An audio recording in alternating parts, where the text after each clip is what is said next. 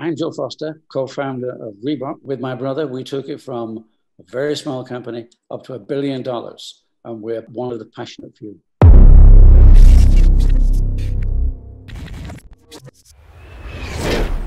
I did a lot of interviews and I always enjoy them, but this one with Omar has been great because it's searching and I hope it brings out something that an entrepreneur wants to hear and wants to feel. And if it does that much, then great. Hey guys, welcome to this very special episode of The Passionate Few. Today we have on none other than Joe Foster. He's one of the founders of Reebok that took it from zero, just an idea with his brother, to a worldwide multi billion dollar brand that you've seen on some of the most elite athletes on the planet. And while the story started decades ago, very few people have heard the full story in its entirety until recently, as the new book, Shoemaker by Mr. Foster, has just come out. You guys got to check it out. And so I'm honored and privileged to have him on the show today to share his incredible story of going from zero and breathing his passion for Reebok into reality. Thanks so much for being on the show today, Joe. Thank you for the invitation, Omar. It's a pleasure. It really is. I'm looking forward to this. Likewise, likewise. And I want to get into it just for the sake of, of context. You started the company of Reebok when you were about, I believe you and your brother were about 23, 25 years old, correct? Spot on. Absolutely. Yes, when we were totally young and indestructible. so, so take me back before you built it to, to where it is now. And I believe today, what revenues in the billions, right? I think just between four and five billion in revenue as of current. And I believe when you left the company, if I'm not mistaken, it was in the late 80s, early 90s. It was already doing almost what nine billion in revenue or so. No, we were, we were talking about the when I left the company, the end of 1989, and at that mm-hmm. time the company was doing four billion. I think now with uh, well, being together with Adidas, that uh, the company is now down to about 2 billion. And uh, mm-hmm. Adidas, of course, uh, uh, have decided now to sell the company. And I think this gives uh, Reebok another opportunity now to get up to those uh, better figures, get back to four, maybe the nine billion that uh, you've been suggesting we should be at. I love it. Now, take me back. When you and your brother started the company, prior to that, had, had you guys been entrepreneurs? Had you started other companies? where did the entrepreneurial hunt for you begin as a kid or in your youth, or was that your first company? Well, I don't know if you've read the book, but of course the uh, the Foster family goes back way way back, and uh, we can really the best part is to go back to my grandfather who made for himself a pair of spiked running shoes in 1895. That's a long time. You know, we're talking 125 years ago now, and he, and he is inventing the spike. So, um, yes, grandfather was an entrepreneur no, I don't think the word was in the dictionary then, but uh, he definitely was. And he, he knew how to sell his company. He used to give shoes to uh, leading athletes. And I think by 1904, he set his company going in 1900. 1904, he had three world records mm. to his name in his shoes. Um, and he got lots of Olympic gold medals as well. Uh, we can go forward to the uh, second decade, World War One. Who wanted running shoes? Nobody. So the company were repairing army boots from, uh, from France, and that took them more or less that decade. It was uh, the 1920s, that was uh, my grandfather's belle epoque. He was really at the top of his game then. Uh, and we have a letterhead, we've got, now we have duplications of it, um, that on it he says that he supplied all the Olympic teams at Antwerp in 1920. Mm. And so all the way through the 20s, uh, he was famous for supplying lots of teams, the American team, the German teams, all the way through. Um, and we had, I don't know if you've heard of Chariots of Fire. Chariots I've of heard Fire. of Chariots of Fire, yes. Yeah. Well, that, that, that immortalized uh, three athletes, Eric Liddell, Harold Abrahams, and Lord Burghley. They all won Olympic gold medals, and mm-hmm. he supplied them with their shoes during the 20s. They, they won their gold medal in my grandfather's shoes. So that's some history. Mm-hmm. And, if we talk about entrepreneur, he was the entrepreneur. However, he died in 1933. Mm. I wasn't born until 1935. I was born 15 months after he died, but I was born on his birthday. So wow. on the 18th of May. Yeah. yeah. So, of course, my grandmother, who was quite a firebrand, uh, she insisted I brought my name with me. So that's why I'm called Joe. He was Joe. I am Joe as well. So wow. I didn't know my grandfather. But unfortunately, in 1933, his, my father and uh, my uncle, they took over running the company. And I think this is where there was a, a lack of entrepreneurship. What they, they seemed to be just working the same routines, the same shoes that, uh, that Grandad had made. And uh, we can go through. Born in 1935, by 1939, mm-hmm. we had World War II. So I'm only four years old, and all of a sudden we're in darkness, and we have six years of World War II. Lots of different adventures go on in that time, but I'm 10 years old when they switch the lights on again. Wow, you know, we, we see a different world. And for the next seven years, great, I have education, I go to college, and I spend one year in the J.D. Foster factory. Mm. Before at 18 years of age, off I have to go to do two years of national service. So I'm in the Air Force. My Jeff went at the same time as well. He'd been deferred, that's why he, a bit later going than me, but went at the same time. Um, Who's your brother, Jeff? Jeff is your brother. My brother, Jeff. Yeah, he, yeah. We we made the company, and we spent then two years. Away from the family, and that two years made a difference. Uh, Jeff was in Germany. He saw Adidas, he saw Puma, he saw what was happening. So two years later, we come back. And we come back to the family firm and we're looking at the company and we, we see a failing company. Mm-hmm. It's, it's dying. Mm-hmm. They don't have any sales representatives. They don't have any marketing plans. They have nothing. They're just relying on the same business turning over. Meanwhile, Adidas, Puma, others are beginning to take the business. So the mm-hmm. business is getting smaller. And I'm saying to Dad, Dad, look, we've got to change. You know, we, we've got to get some plans. We've got to get some sales. We've got to change our ideas. Mm-hmm. But he didn't get on at all with his brother. In fact, they fought more times than they would speak. And mm-hmm. Jeff and I had to pull them apart on occasion. We know Adi Dassler and Rudy Dassler. They were the same, but Rudy left. And Rudy set up Puma. And Adi, of course, continued with, Adi, with Adidas. But uh, this never happened at Foster's. And try as we might. This was 1955 when we came out of the forces. By 1958, all our efforts in vain, we decided that was decision time for, for leaving. So we left the company to set up our own company. Um, I guess the spirit was, was probably. Your was your father upset with you at that time that you guys went off to start your own company? I don't know if you've read the book. well, well, I, I have read the book, but um, the reason I ask these questions is because I know a lot of the audience may have not read it yet. So I want to really oh, share yeah. from a from a perspective of as if we know nothing, and the audience is sort of unraveling the story here with you. Quite, I understand that. I was just want yeah. to know where we are with the story.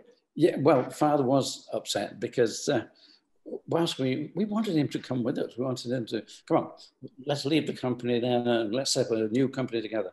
But all he would say is, look, when I'm gone and your uncle's gone, this company can be yours. Do what you want with it. Mm. And of course, the only answer to that was, I'm sorry, Dad. Number one, don't want you to go. You know, we're not, we're not looking for you to die so that we can inherit a company. but yeah, there would be no company. Mm-hmm. If uh, you know, by the time you go, this company is going to die 1st mm-hmm. and uh, I, I, guess he didn't really believe that we were we would actually go and leave and set up our own company. But uh, on that on that particular day, it was, uh, was quite a, a, traumatic day, mm-hmm. and uh, apart from the fact that he picked up the uh, letter opener and I thought he was coming towards me. He said he, he, he was giving it to me. He said, stab me now. Oh, you know, this is not what we're after. We're, we really what we're trying to do is to make a living, find a life, make something happen. Uh, so that, that was a bit traumatic at the point. I, funnily enough, you know, Jeff didn't get the blame for that. He, I, I, know I was the one that would go in there and do all the talking. And so I went in and said, we're going. But and Jeff was still living at home. I, I had left the, uh, the family home. I, I, I was married and just bought a, a, nice bungalow. So leaving the company meant we had to sell the bungalow, pay for some machinery. And so there we are in 1958, it was late 1958, we set up a Mercury Sports Footwear in the next town in an old brewery. And from there, from there, were you and uh, Jeff off to the races, or was it a series of false starts, or did you guys have big plans? I mean, obviously we we've seen what Reebok grew to, but at the time in your twenties, were you guys just trying to get the company to, you know, maybe a few million bucks in revenue, or did you dream of doing something big in the world and blasting it? I mean, was your ambition hungry? Where mindset wise, what was you and Jeff's intention when you started the company on your own? How big did you aspire to make the company? I guess the frustration of being at uh, JW Foster and nothing happening, this is what was driving our motivation to leave. And when we left, we left knowing that we had to determine our own future um, because it wouldn't happen at the family business. So I think that was the motivation. We, we needed to determine our future. We knew sports football. The family had been involved in it for many years, so we had a good history. You know, we, we were okay. So no, we didn't dream of millions. We didn't dream of anything that big. Uh, just to um, set up a company, um, let's go for it. And, and, of course, once you start doing that, and you start feeling the uh, well, you know, we can make it. We, we knew we could make it. We, we knew, and you know, business started to grow quite nicely. But uh, also, what's in the book, of course, we started to face many of the problems. First problem we faced was the fact that we, we'd been going about 18 months, nearly two years, when our accountant said, okay, boys, you're doing all right. You're making a bit of money, but you better register that name. What do you mean, register the name? Well, look, if somebody else wants to make, uh, sees that you're doing so good, uh, starts making running shoes and cycle shoes uh, using the name Mercury, you're going to have trouble. You're going to have to go to court with that because you're going to have to prove that you started it first. Oh, right. So how do we do that? Right, we go and see a, a specialist. And uh, so we give the specialist the question, please register our name, Mercury. Uh, it's pre-registered. Ooh, pre-registered. Well, what do we do? Well, the guy said, I'll ask the people because they're not using it, mm. but they've got it registered. So they offered it to us for a thousand pounds you could probably think of maybe I don't know, maybe a million dollars today. I don't know what it would be equivalent to, but we didn't have a thousand pounds, nor near a thousand pounds to, to spare on buying the name. So uh, he said, look, if we can't buy it, or you don't want to fight it in court, because I said, how much would it cost us to fight it in court? He said about a thousand pounds. So well, we're back with the same number, the impossible number. so he said, go bring me bring me half a dozen names, a dozen names. Uh, I said we'll, we'll, test them out with the uh, with the registrar.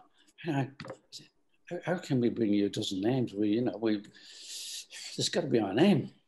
Anyway, we go back. We get names on the paper like Falcon and uh, animal names as well. What, what we had a whole list of these, but 1948 was during the war, 1948, no, it will be 1942. I was eight years old.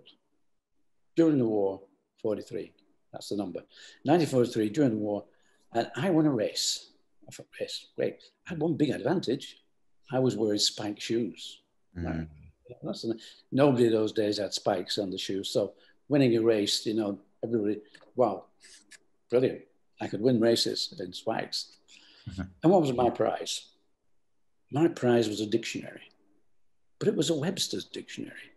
and a Webster's dictionary is an American dictionary. I didn't know that at the time.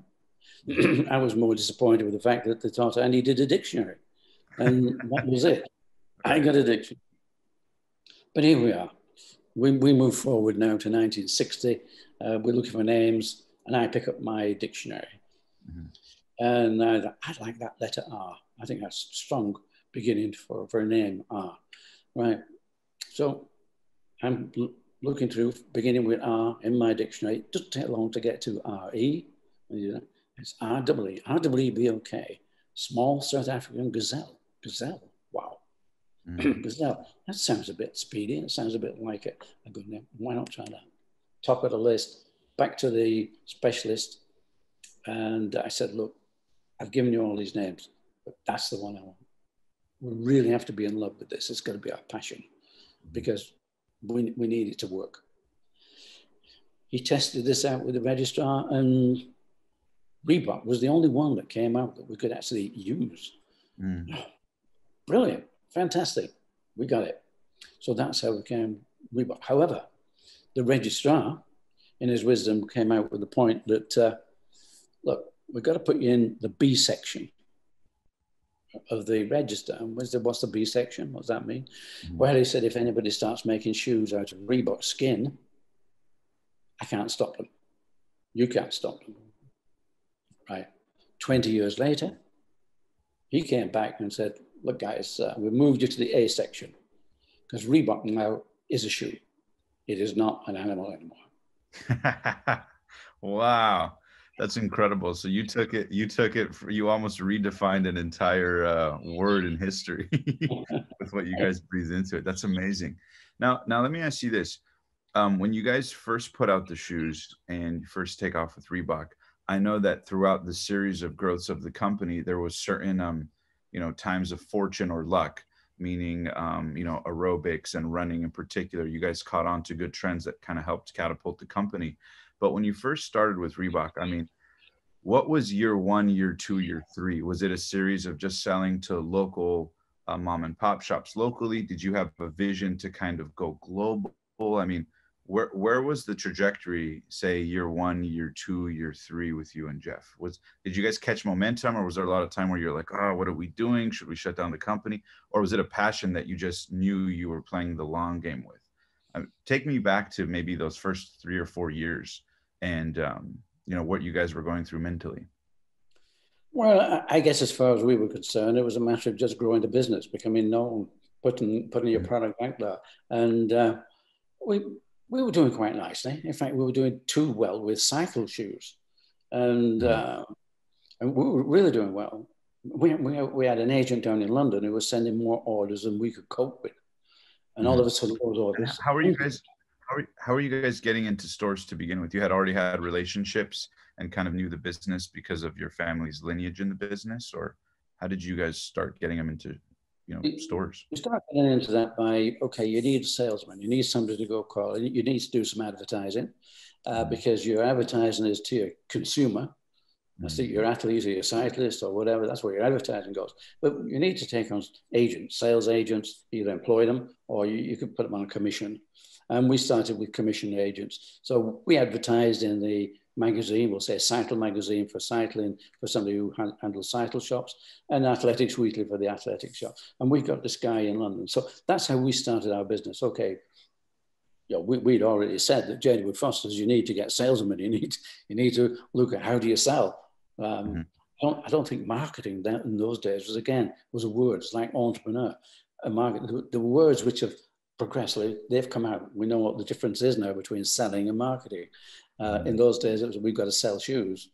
Marketing, I suppose, was the advertising, and and so yeah, we got the agents, and we were doing very nicely. But our agent in London suddenly stopped. Um, we didn't have mobiles, you know, we didn't, didn't, have any computers or anything like that. Uh, we had to rely on letters. We did have a telephone, uh, but it it was like people had to connect you. It's amazing when you when you think back that it was so sort of primitive in, in how so we're writing letters and we're wondering what's happened to our agent. We we did get a letter from his landlady about uh, three weeks after these orders had stopped that he'd been killed in a road accident. That killed our cycling uh, line almost dead, almost dead. But fortunately, you know, Jeff used to do cycling. He was also in the athletics club. All the local athletes were coming to us, so we had a nice business. And, uh, and I, I thought, I'll get out there on the road and do some selling. I did. Mm-hmm. I'm going. Nobody could tell me how to make our product, and I could tell you anything about the product. I, I'm not a salesman, not at all. Salesman. That's not me. Uh, but I, I, could go out there and talk about my product. And I, I would go into the sports shops. and some would be very good. Yes, yes, we were, we were doing rugby boots as well. So it was a nice business and I could. But a lot of these uh, retails, these small sports shops, they would say, uh, who? Reebok? Yeah, Reebok. Okay, well, what do you do? Well, here's the product. Show them product. And they just point to the shelf. So, look, I've got Adidas and I've got Dunlop. Why do we need Reebok? Mm-hmm. That resonated with me because it wasn't just one, it was a lot. Why do I need Reebok? They didn't need Reebok. Mm-hmm. And I recognize the fact that Adidas were big on soccer, so that was that was a space we we couldn't go into. We had a lot of money. We didn't have a lot of money. We had more energy than money, um, and so uh, I was saying, well, we, we used to go out to athletics meetings, open up the back of the car and sell out to the boot of the car, and and people would buy our product. And I'm thinking, but these are these are these are our customers. Now, luckily, and I, I think it's the same in America we had the three A's, the Amateur Athletic Association. They had a book, and in that book was the name of every secretary of every club in the country, probably 300, 400. Wow. Well, didn't take much thinking about, did it? There's a letter, a letter to every secretary, become an agent, we'll give you 15% off. I got a lot of agents. And what that did for our company, not only did we get sales, it gave us a many immeasurable sort of um, respectability, we became the athletic shoe company. Mm. That was us.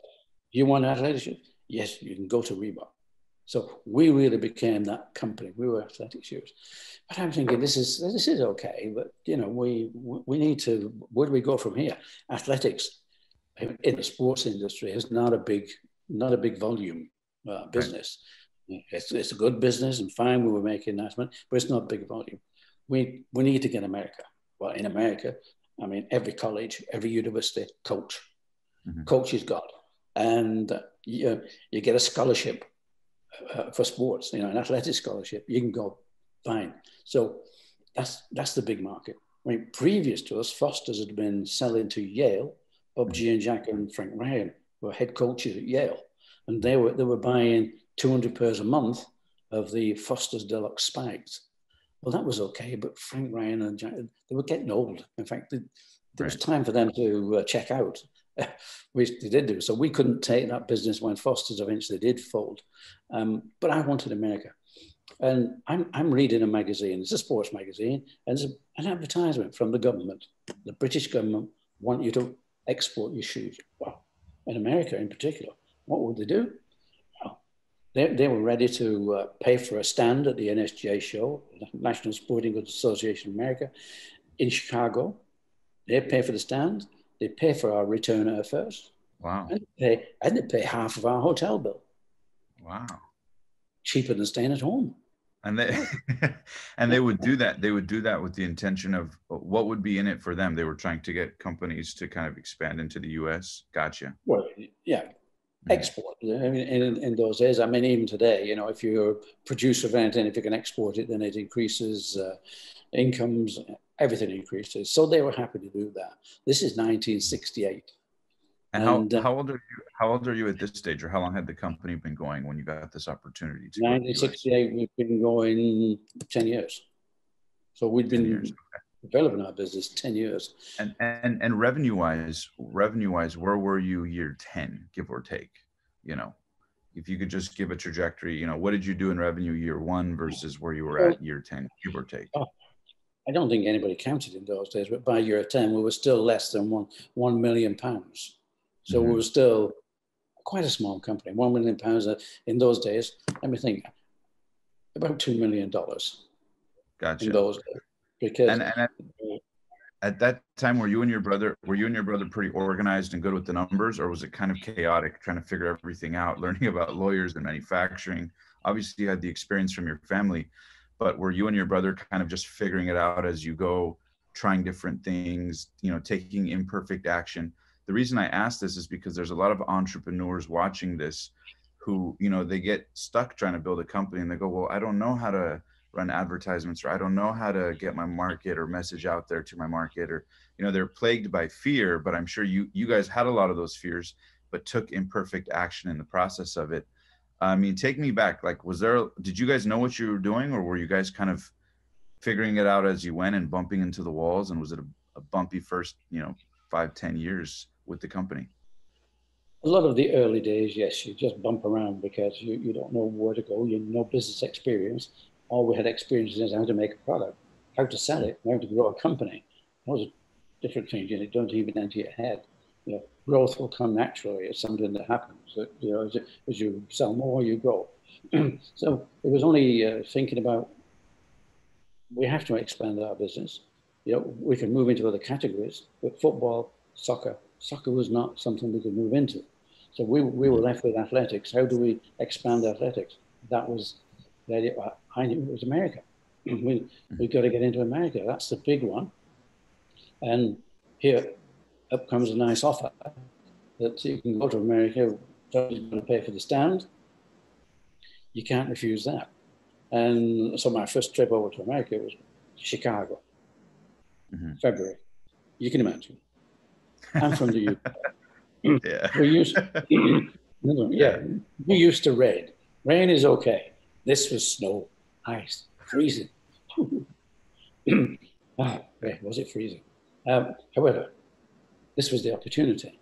know, I have a stand there, and a friend of mine had come along with me. I, I made a climbing boots for him. He was an outdoor. Right? I made climbing boots. And so we set up the stand. Great, excellent. And I get a lot of people coming along and say, oh, like your product. That's nice. Yes, where do I get it from? And I hand them a card and they say, England. Is that New England? No, no, no.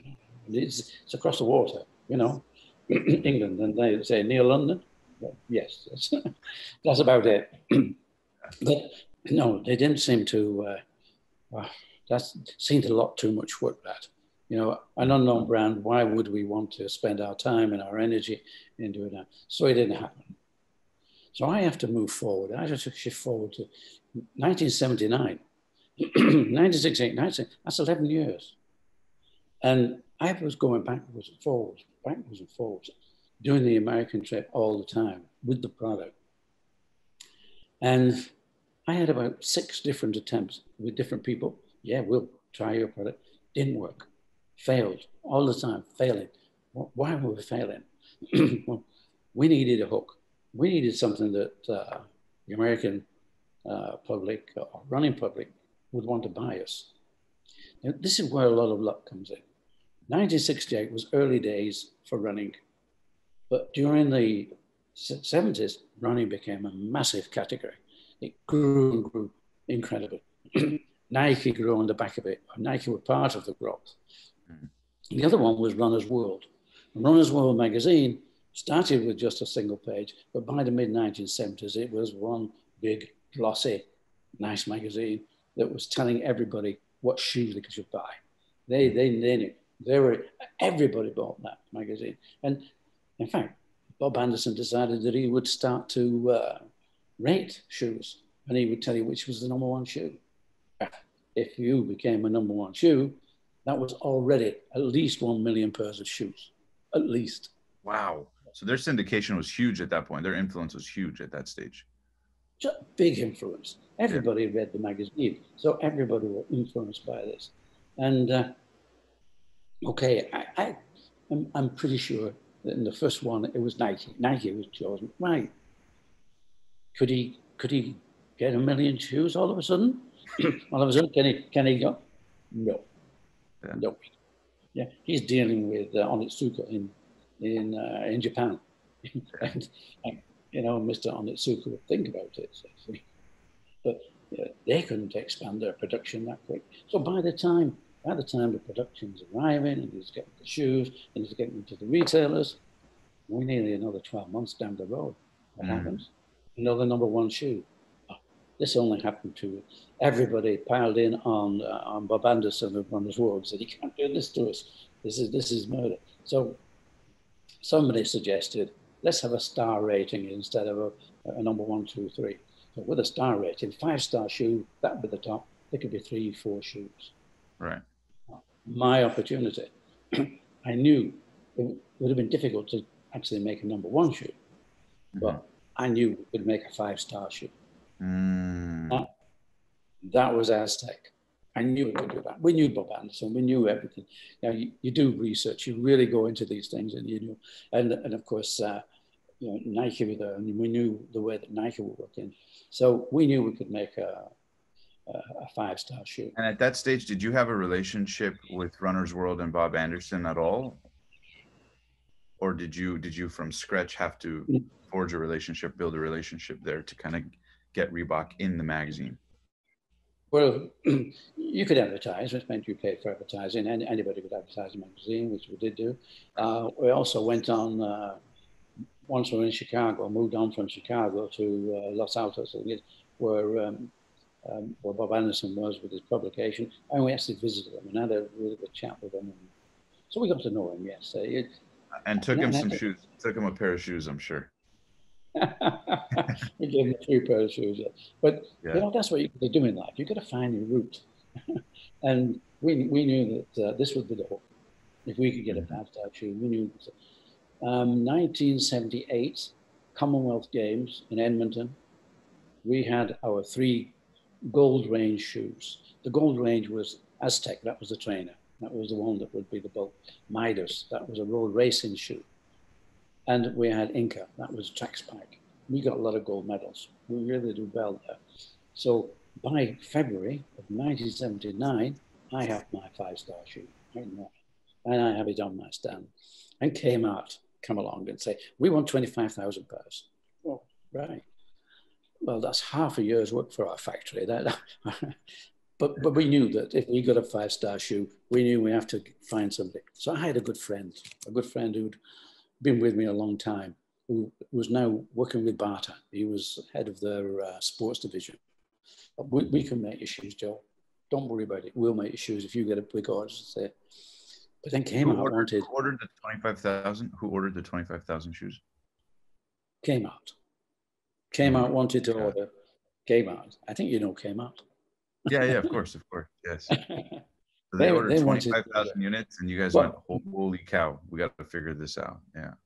That's right, that's right. But then Kmart said, but we wanted a better price. Ah.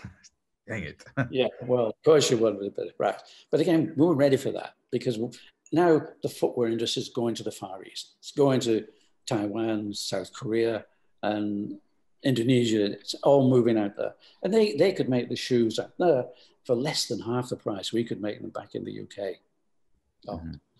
Right. But you know, I was also talking to people who were agents out there. And so, so you know, we, we had things steady. We had it right. It's like, okay, if it happens, it happens. Okay, so this is only February of 1979, and we're waiting for the issue to come out in August. But whilst I'm there at, uh, at the NSGA show, Paul Fireman comes along. Paul Fireman from Boston. He had a company, Boston Camping, and he was running that company with his brother and his uh, and his brother-in-law. And I could see it on Paul's face. He wasn't really happy keep on going round that, so selling tents, fishing rods, and all the bits and pieces. And yeah, he, he just he just wanted a change. He wanted something different. And he said, Joe, look, I'd I'd love to be your agent because and I preferred this working with somebody than working with someone like Kmart you know, who work on footage, square footage, and if you don't come up to sales on square footage, you're out. So we weren't that big a company, you know, we were simple thinkers. It's like, you know, sell a shoe, sell another shoe, sell another shoe. And so Paul Fireman was, would be my man, okay. But Paul said, look, you know, if we're going to do this, I need a five star. Paul, come on, look at this. This is Aztec. This is going to be a five star shoe. Well, I may have been persuasive or not. I'm not a good salesman, so I didn't sell him at that point. But he said, look, if you get a five star shoe, I'm, I'm your man. Right. Last week in July, this is when the uh, sort of August issue comes out of Runner's World. And I phoned Paul, Paul, please go down to the local kiosk and buy Runner's World. Let's see where we are. Took him an hour to come back on this one. I think it was a bit early in the morning. Midday for me, but it was only early morning for Paul. And uh, an hour later, he came back. He said, Joe, Aztec, five stars. Wow, that was it. We had the hook. We that was that was the magic. He said, "Oh, just a minute." He said, "Midas, Inca, also five stars." So we had three five-star shoes in those categories. That was it. That opened the door, and Paul was in business. Wow. And how long into mm-hmm. having the company did you guys get those three shoes to be ready for market at five star level? Company, what, 10, 15 years or something at that stage? At that stage, we're talking about 1979. We've been there, that's 21 years, isn't it? 21 years. Wow. From 58. And, and yes. where was where was the biggest explosion in sales? Because I know I've seen a few of your interviews where you talked about the fact that you marvel that you weren't the best at sales, that you focused more on marketing and being strategic. and you said that your skill is finding the opportunities where luck is. You're good at seeing where luck is. Um, if you can smell it out, yes, go there. yes. Um, did you find did you find that there was um, moments of grace where like as an entrepreneur maybe your success wasn't linear right it wasn't a straight shut up it was kind of like all over the place but then you hit a gold mine and then boom you have these explosions um, in sales the first of which i believe um, was catching on to these trends and and you were mentioning um, in, in other interviews and now what was the biggest spike in sales for the first time where it was like whoa this was like the, the biggest thing we've seen in sales? Was it that uh, 25,000 order from Kmart, or was it when you guys started getting into other categories? Where did you see an explosion where you were like, holy cow, this, this Reebok is taking off at a whole new level? Well, it wasn't Kmart. I, I couldn't believe that, uh, I would be in business if I went with Kmart. I, right. I thought that would have been a one-off end of story. Uh, they wouldn't push my shoe we would have to do an awful lot of work on it to, to make it into a, a top shoe. Now, I thought that Paul, Paul Fireman in Boston, he had this nice little company, Boston Camping. You could bolt on the Reebok product and off we go. So, you know, our, our rise had been very, very slow and very, very steady until, until we got the, uh, the running shoe, Aztec, five stars. I mean, that was it all of a sudden. But uh, when I went over to see Paul, Boston Camping didn't exist anymore. He, he decided that was it. And uh, he decided he would be Reebok. Uh, his brother had decided to make wallets, so he had a lot of machinists making one. And his, uh, his brother, as his brother, and his brother-in-law had a second-hand car lot. Mm-hmm. So Paul was starting this together, which was really good because he, he was hungry, but he had mm-hmm. knowledge of the business. And, you know, he wasn't just dealing with a few runners, he had knowledge of the business, so that would be okay. But uh, fine. Fortunately, we did get some shoes from Bata. And in a way, fortunately, although they were not good, and instead of sending them back, Paul sold, sold all the shoes up, but he didn't pay for them. So that funded that first bit. Um, the second bit was, well, we, we got to go to the Far East. And whilst Bata had, had given him a credit line, the Far East don't give you a credit line. You've got to put your money down, or you have to have a bank to put your money down, which means either collateral or whatever, whatever. Mm-hmm. And it, it soon became clear that, that whatever money Paul had or we had, uh, we couldn't drive this business forward that much because we couldn't afford. So this is where Paul, who had friends and friends of friends, that bumped into um, Stephen Rubin. Stephen Rubin is Pentland in the UK. And Stephen Rubin's business, ASCO was one of his business, but ASCO were sourcing company. And they mm-hmm. sourced out of the Far East. So Stephen came in, not for money, but for a credit line. So he gave us a credit line. Um, and that was, that was all that was needed. And the product out of the Far East was brilliant. So we had the product, we had a credit line, then we could grow. And we're growing very nicely, really nicely. But then we, we had a, a tech rep, Arnold mm-hmm. Martinez. I don't know if you've heard of Arnold. Arnold Martinez, remember his name. Mind you, I think he's retired now, but he's a, there's a genius. And um, he was a, he was a tech rep in LA.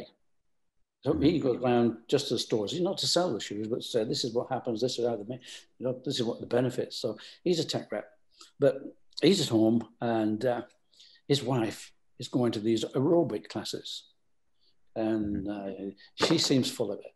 And was saying, "What's all this about?" Well, she said, "This this is exercise to music. Fantastic." Oh, this uh, this you know, Arnold gets interested. Can I come down and have a look? What's going on? Yeah, come next time. Arnold goes down. What does he see? Instructors in running shoes.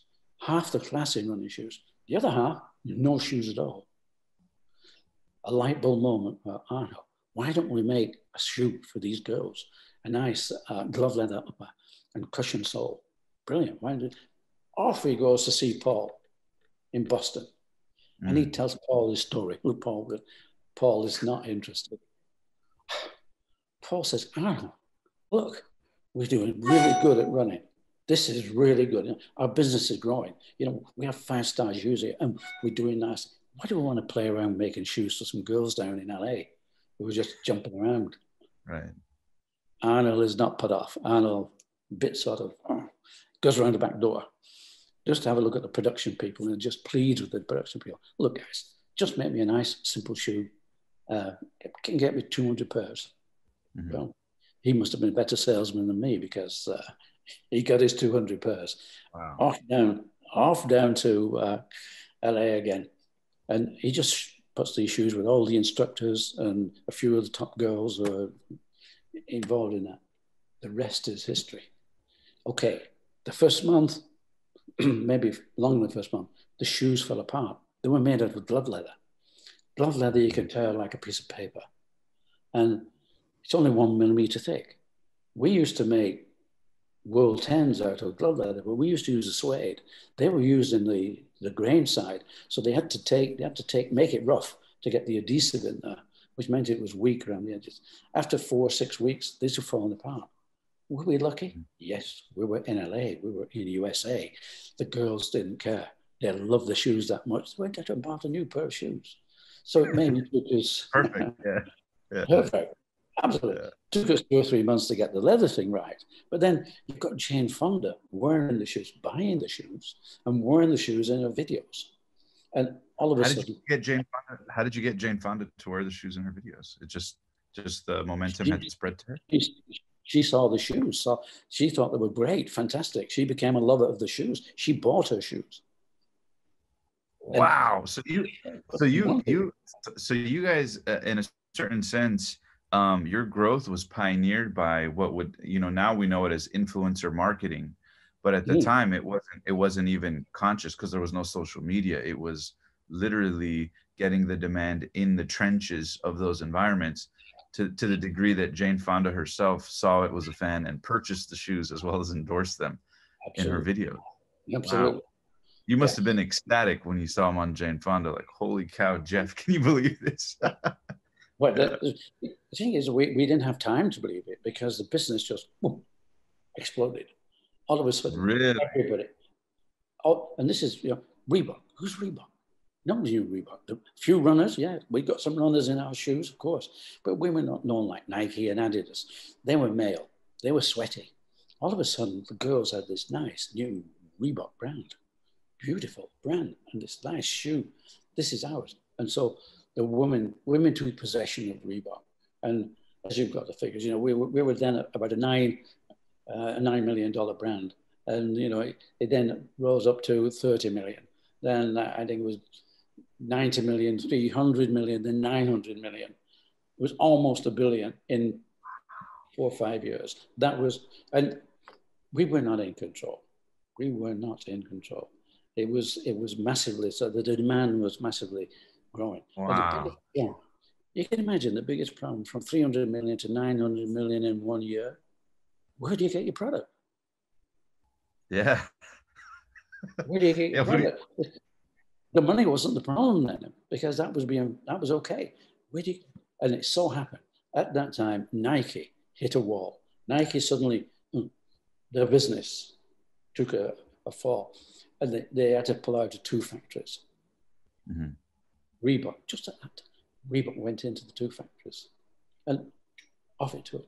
I mean, it was close. It was incredible the growth. So, so holy cow. Okay so let me get this straight joe. So you how old are you at this time when the company is at 9 million um and, and before it kind of goes to 30 and then 90 and then 100 and 300 and 900 and a billion? How old are you when the company is at 9 million in revenue? I'm about 44 45 and then really and literally what took it from 9 million to 30 million was really kind of catching on to a new trend that other people weren't taking advantage of because you had nike adidas and all these other categories but you guys had your eye like you said you had your eye on uh, sort of the you were looking for the opportunity of what was about to to kind of pop off so you can ride the coattails of it to a certain degree. But was it that the market was that big the aerobics market was that big or that it was just emerging or that it became a kind of streetwear brand i mean what was responsible for taking it from 9 million to 30 million just the awareness of it through aerobics, or were that many people doing aerobics? I mean, what was it that just exploded it? Right in the beginning, there, there was no market. Aerobics was simply around LA. There was something that was just developing there. So the rest of the world didn't know about it. Uh, so the, the, the, the Reebok, Reebok and aerobics grew because all of a sudden women were doing something. Uh, it was all you needed was a pair of shoes. You know, it, very simple. You know, you wanted to be in a sport, and women owned this. Okay, it, you know, it didn't take too long, and the men started looking at it and saying, "What's this game? What's this aerobics? Can we have a bit of that?" And yeah, Reebok developed that nice soft leather, which also became so influential. You know, that soft mm-hmm. leather, that look, you know, crinkly toes, and you know, it, it was beautiful. Everybody started to love the leather, and aerobics just became something massive. So wow. that's what grew. It's just like running had, had grown Nike. You know, Nike uh, w- w- had grown on that massive sort of uh, growth of that category. My my father, I was um, having dinner with him last night, and I told him I was actually going to be interviewing you, and he told me that uh, that Reebok that he remembers that him and all his friends when they heard about Reebok that they went because one of their friends had it and they liked the leather. I don't know if it was a nubuck leather or what it was, but he said that that's what made him and his friends. They went the next day and they all bought uh, pairs of Reeboks um, because of that, because of the quality of the leather that it was different. So that's amazing to think that you uh, breathed life into that. Now, when the company is going from nine million to thirty million to ninety million, like you said um, what's going through your mind? Are you is it excitement enthusiasm or are you so busy trying to manufacture and actually deliver the goods that you were too busy kind of focusing on that and scaling the business to really kind of uh, enjoy the money because you're so busy trying to fulfill the orders? I mean where, where were you at, at that time? Or did you guys have the systems and structure in place? Um, i know you moved into those 90 factories but yeah i you need, you need people you need a lot of things uh, infrastructure wasn't there. It had to be built. So it was it was crazy keeping up with it. I know, I know I sit down with Paul Fireman and Paul say, Joe, I know how to, I know how to stop this. He said, but if I do, I don't know how to start it again. right. Well, that was big. So really, it was just a question of how do we keep up? How do we keep running? How do we keep going up this hill and keep sprinting? Because we had to to to sort of develop everything. You know, I, mm-hmm. I was putting on global distribution.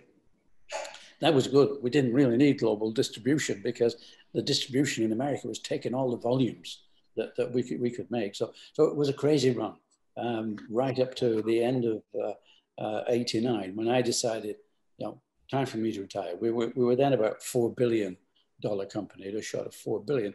And I had put on at least 30 different countries. So I'd started with Paul in America, put on at least 30 different countries.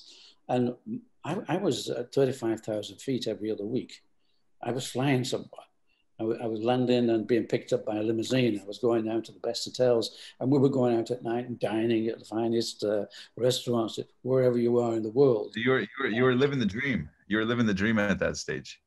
Yeah, and I don't say it became a nightmare. It didn't, but The challenge, the challenge had gone. Mm. This wasn't a challenge. This was uh, just going through the motions again. Just okay, cruising. It was cruising at the top. You were cruising yeah. at the top. Yeah. yeah. We were we were in Monte Carlo. We were doing the Princess Grace uh, Foundation tennis tournaments, and all the uh, all the people from LA, all the you know, all the A-list stars were there. Even Frank Sinatra came along on one of our occasions. You know, so, so we were mixing with, with, all the stars, and it was absolutely fantastic. Uh, we must have had 30 or 40 different stars each time. Uh, you know, was it surreal? Was it was it surreal? Was it surreal to you to see, to live in the reality through your eyeballs and see this whole world of opportunity and people saying, "Pleasure to meet you, Joe," and looking at you in the special light and thinking, that you're the guy that built this billion dollar company, everything that most people on the planet aspire to do, that you in some way breathed a dream that was just once you and your brother bickering and, you know, trying to figure out what should we do here. Is, was it surreal to you? Uh, were, were there moments where you got to pinch yourself and go, holy cow, how did a, how did I, how did a regular guy like me figure this out? Right. Were there a lot of moments like that in your career early on or have those since faded? You know, really, it's more surreal to me now than it was at the time. I think at the time everything would bounce, bounce, bounce, bounce. You were, you were just in, in, in. It, whatever it was, whether it was tennis, you know, whether it was being with the stars, whatever they were doing, it was just moving, moving. so keeping up with it was just, it, it, wasn't surreal at the time. It was like, this is happening, this is happening. And now I've stepped back for quite some time and I look at it and think, how did we do that? How did that happen? You know, how did that? You know, I mean, there's a lot of happiness, a lot of things going on. But really, you know, there's, there's, a lot of sadness as well because we just got into America when my brother died. You know, mm. he, he, was an athlete, but he over pushed himself, whatever it was, and he got stomach cancer and died of it. And so he didn't see it. And you know, you, I'm at that point with he just looked after the production. And he would have done a lot of flying. He would have been going out to Korea. He would have been doing a lot of things that I had to do as well. Um, but I think that doubled my efforts and saying, I've got to, it's got to happen. So you, I think it drives you harder. I think it drove me harder. And I often think, well, what he would have thought uh, had he, had he still been around of uh, how successful we were, you know, and how great that, that, that journey has been. And, it, and it, it was a great journey, but I needed to get off that. I needed to come down. Yeah, yeah of course. To, yeah. You need to enjoy your life. Yeah otherwise it was was going to take the whole thing. Now i want to ask you this.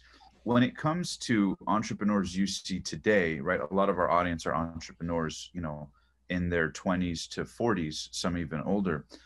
Obviously at this stage in your life you've you've spent decades. I'm sure you've met some of the most you know successful people in the world and have rubbed elbows with people who've done really well for themselves what are common denominators you have found joe of entrepreneurs that really do well and succeed in the long run versus the ones that kind of start, stop, fail, get stuck, and never quite have momentums of success? Is it mindset? Is it resilience? Would you say it's a combination of luck? I mean, what are the common denominators of, of um, success you've seen at the levels you've experienced that you could impart to our audience? What, what wisdom can you give entrepreneurs out there trying to make their dreams a reality? I, I think there's a lot of things. And I think number one, start when you're young when you're young, you're resilient, very resilient, and you, you, can you can take the battering because that's what. Also, expect problems because that's going to make, that's going to drive you forward. Expect failures. That's going to drive you forward. Yeah. Mm-hmm. Don't expect it's going to be a straight line. No. Yeah. That gives you energy because you know, if you fail, puts one step nearer to being a success. And so expect all those things. And uh, be young, expect failures. Don't take too much advice from people because they're looking ahead. You, you, can ask all the questions you like about finance and whatever, but it it will put you off. You know, you need to face the problem yourself. Okay, there are certain hurdles that maybe it, you, you can get help with. Um, I think also luck and timing. Did you choose to be in the right place? Were you? We happened to be in the right place at the right time. We happened to be. Although I, say that one thing, since 1960, or when we started 1950, right up until COVID, the sports industry has never had a recession. The sports industry has always grown and it's continuing to grow. So it is continuing to grow because not, we're, we're looking at entertainment, we're looking at influences. What influences? And sport has influenced street for a long time and is still there. And people look up and say, what is my favorite football player wearing? And, you know, they see me Nike or see me Reebok, see me Adidas. What, what is that? And so it's influences. And then you've got to look what's influencing today. If I'm going to grow, you know, you, you, can grow with influences, or you can do what Jim Ratcliffe did with INEOS, and you can you can be a good chemist, good scientist, and you can buy into the petrochemical world and grow a big business from from that. Yeah, but is that entertaining? No, it's not. That's why now he does so much sports events yeah. So he has to buy himself into sport, but he made his money a different way. Depends, mm-hmm. you know, if you're doing it from passion or if you're doing it from sort of a almost a clinical. You're, you're learning. You know, we know now that um, science is so important. So if you're into science, you can probably run over that. But uh, mm-hmm. I mean, what is happening now? Technology. you know, technology. You need to know of technology because what's happening. You know, we now have this. We're, we're on a Zoom meeting. You know, you're over there in California. I'm over here in France. And this is, you know, we could be sat at the opposite. In fact, you're probably nearer to me than the other side of the table. and we're learning, we're learning how, with, podcasting, we're learning how to be relaxed. We're learning how this is. This is great. You know, I, I had to take a flight for five thousand miles to meet Paul Fireman. You know, but, uh, right now, yeah, we're a lot farther away, but you know, we, we can speak and we uh, we know so so much more. Social media, all these things have come in. So entrepreneurs need to be on the ball. We need to know what's going on, and either that's going to be luck, and I think me, there was an awful lot of luck. But we happened to be in the sports industry at the time. The sports industry was exploding. You know, yeah, and what what about when it comes to personal branding and influencers? I know Reebok now is partnered with Conor McGregor. Um, you know, I know you guys have made a lot of strategic plays, and I don't know your your current level of involvement with the company. I, I know you left, but I'm sure they call you all the time for, you know, advice or insight or whatever. But I'm curious, what advice do you have for entrepreneurs now about the importance of building, you know, a brand, but also now I'm I'm sure you've seen the trend about CEOs and leaders of companies kind of having a personal brand as well, whether them being the face of the company or being more out there. What's your pulse on how important um, branding of companies are versus personal branding? Are they both important? How do you, how do you see it? Well, today's landscape moving I, I, forward in business. Yeah, I do think that uh, creating a brand is uh, is quite expensive, and even today it will take you some time. Um, and that you have to put a face to it. There's always really been a face to to many brands. For me, it was really building Reebok. I mean, that was it. In those days, was pushing Reebok. Very few people know Joe Foster. Yeah, because Phil Knight, even Phil Knight was Nike. he recently came out with his book Shoe Dog, and you know, recently has has built the brand. But historically, he wasn't too much about building his brand, although you would hear about him. And so, I think the pulse has really changed from decades prior, where kind of CEOs or leaders kind of had more of a backseat type of. They were focused on building the company's brand, but now people are building the company and their personal brand. So I'm curious your thoughts on that. Yeah, well, well I agree. Excuse me. I, uh, I, I have probably share the same time scale uh, as uh, as Phil Knight. Mm-hmm. We and I've read his book, and there are quite a lot of things where we we, we didn't meet, but you know we were almost uh, on a on a level in different things. And he was building Nike, and and I agree. You know, he was an accountant, so he was more interested in sort of how the company works than being Phil Knight, the the number one. I'm the guy who did it. But then again, there was Bill Bowerman in those days. I mean, Bill Bowerman was probably as much, if not more, influential than, than Phil Knight because right. he was a coach. Mm. And, uh, you know, I, I, think it's a mixture of whichever way you go. Uh, but I think now we, are talking social media, we're talking technology. So I, I think, you know, it's like, you know, Bezos, you know, you, you've got to you know, he, he becomes a name, even though he now only owns a small part of the company. But he, it's a big name. And I think that now there is that uh, connection between the name. Bill Gates, you know, you, you, you know the names now. And, and I think if you're going to do it, yes, uh, be, be prepared to uh, put yourself up there as well because of this, because we now have Zoom, because we now have faces. You know, Reebok is not a face. Reebok is a company, it's a brand, and it can't sit there and speak to you or you speak to me. So I think you have to have somebody now who can, yeah, be the brand. I, I do think that people have got to think of that now. I love that. And how important was, you know, our show's called The Passionate Few. How important has passion been um, in your life and obviously during the days of building the company? How important was passion? And did you see a lot of entrepreneurs burn out on their ideas because they were pursuing money um, as a primary objective more than just actually having a love for it. I mean, it seems like to ride the roller coaster of success and, like you said, kind of anticipate the challenges, there must have been a lot of passion getting you through those days where money wasn't getting you through those days. So, how important do you think passion is to have success or at least fulfillment in your life and business? Because I'm sure you've seen entrepreneurs who had passion and some who kind of didn't, and you've kind of seen the results of that as well. Well, I think passion is almost the number one for me.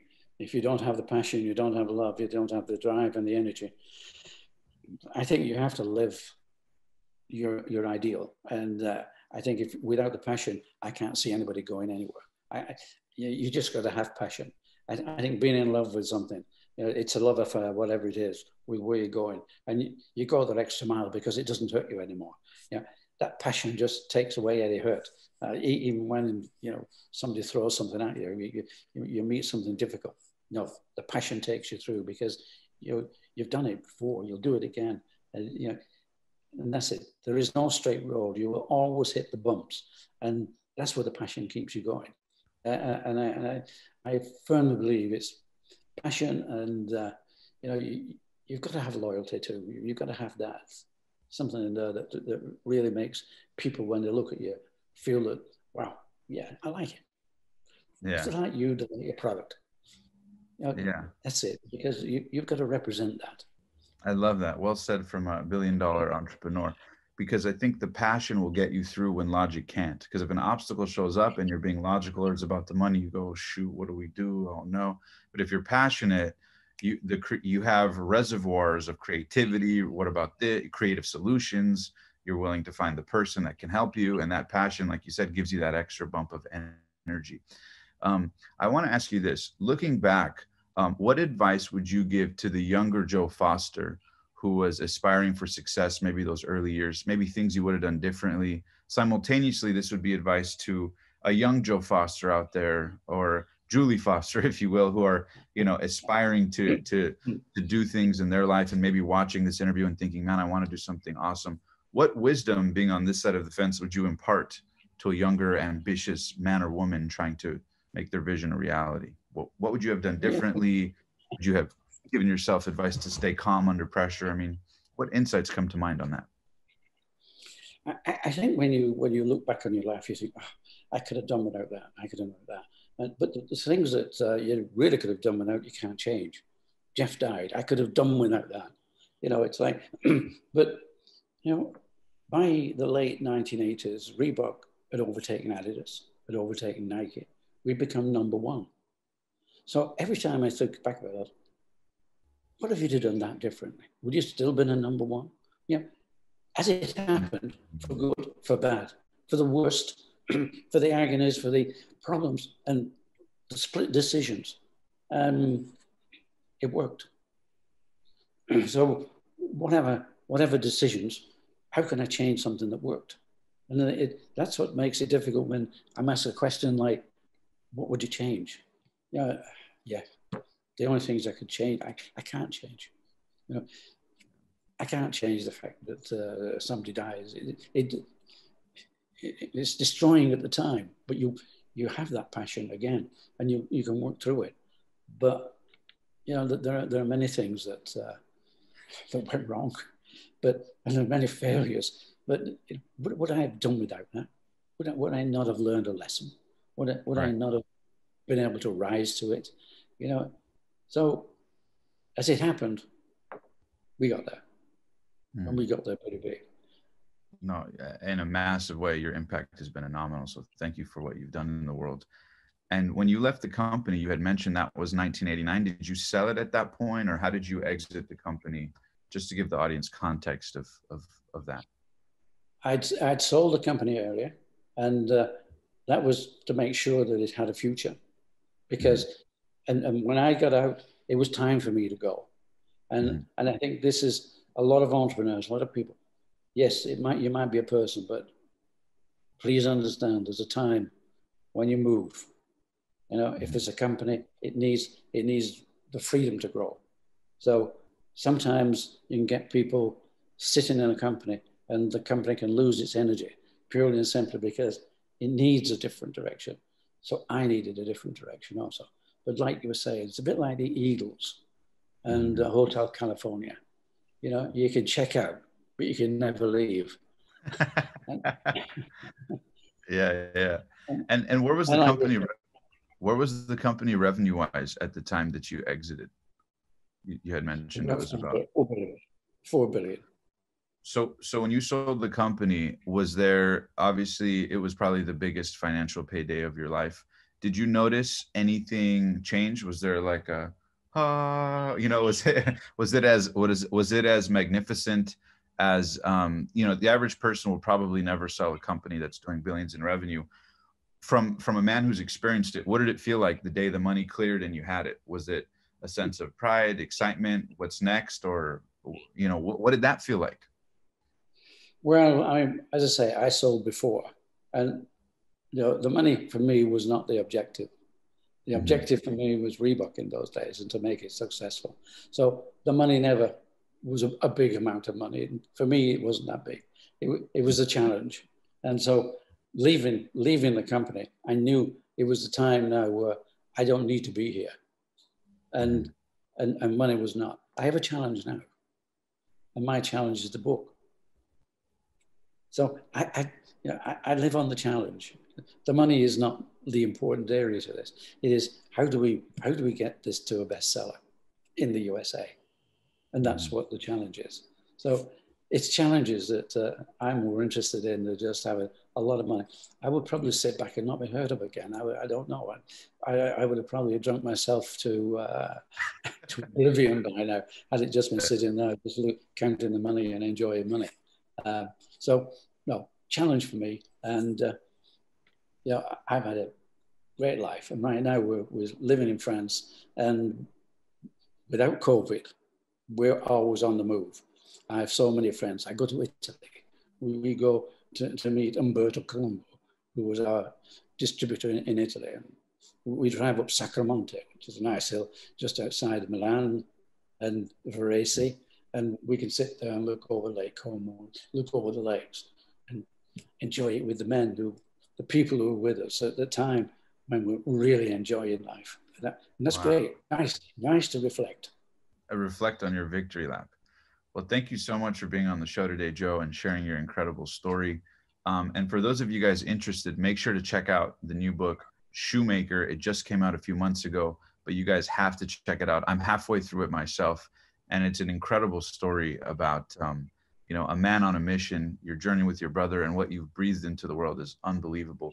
Who would have thought that one day uh, a word in a dictionary uh, that would that was uh, that was uh, an animal, a giraffe, would one day change because of uh, the energy and passion you put into it. So I want to thank you, Joe, for what you've done in the world, and I want to thank you for being one of the passionate few and sharing your incredible story. And um, I look forward to one day after COVID, uh, flying down to you and interviewing you in person as well to to dig through this story even more. So thank you so much for being on the show today. That would be a pleasure, Omar. And uh, thank you, thank you for the invitation. It's great, and uh, I hope you enjoy the rest of the book. Absolutely, will do. Any final words of wisdom to um, people out there who are looking at your story, inspired by what you've done and trying to make their life work, maybe through the challenges or anything? Any quick quotes, tips, um, you know, good pieces of advice? I love that you also mentioned earlier in the interview uh, that you know sometimes you don't want to take too much advice from people, right? Because because sometimes and i'm sure this has happened to you where your intuition might have said hey joe do this crazy idea it could work but accountants and lawyers and everybody else in the business said no that's a stupid idea um, you know any advice to people on that as and this is the final question i promise um, because a lot of entrepreneurs deal with this. They have an inspired intuitive ah maybe i should do this or the crazy ideas and everyone around them is saying no. And i know i've been in that situation where you can get almost uh, too much advice and then you get paralyzed. Um, any advice mm. on, on how to navigate those things trusting yourself versus uh, others? Well I, I think that it's, it's very simple and that is if you have a dream if you have an idea make sure you know what it's about and then just just have a go just keep going i think if you keep going you will win you might get a lot of deviations whatever it is but you know, have fun. That's the thing. Really have fun. Three most important things: fun, fun, and fun. and if you go for that with a smile, with with passion, and with integrity, yeah, those those are the things to go with. And, and then, yes, who knows? Yeah, who yeah. knows? If, if, if anybody knew, they'd be there before you. But who knows? Just take that. Just take that road. I love that word spoken beautifully by a billion dollar entrepreneur from Reebok. Thank you so much, Joe, for being on the show. And uh, again, if you guys want to check out, grab the book Shoemaker. We'll put a link in the description below. Make sure to grab your copy today. Trust me, you guys won't regret it. Cheers. And until next time, live strong, live with passion, and I'll see you guys on the next Inspiring. If you guys enjoyed that video, be sure to hit that subscribe button right now because every week we bring you the very best in personal development content, interviews, and insights to help inspire you to take your life and your dreams and make them a reality. And also, if you want to know how to book dream guests the same way I have, you can check the link below for my top three secrets. So if you have a podcast or a show or whatever it is and you want to collaborate with them, if you click that link below, I'll give you those top three secrets to help you get in touch with anybody. And also, don't forget that The Passionate Few is available on media platforms as well. So you can subscribe to the podcast. And until next time, thank you for being one of the passionate few.